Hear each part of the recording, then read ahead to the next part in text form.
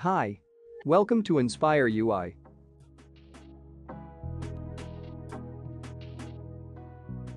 After customizing the app's design and features on FluxBuilder, you also can preview the app directly on the real device by using the FluxBuilder version on mobile.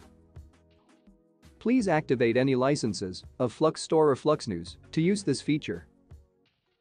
On the FluxBuilder on desktop, click the Scan to Preview on Device button.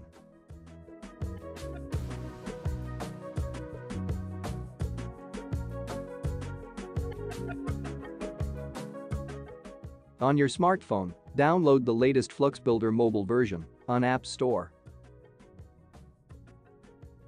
Then, open the app and go to Settings, select QR code.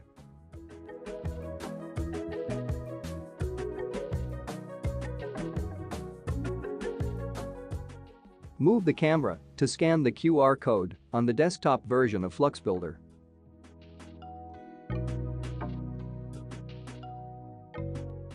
Experience the app on your device.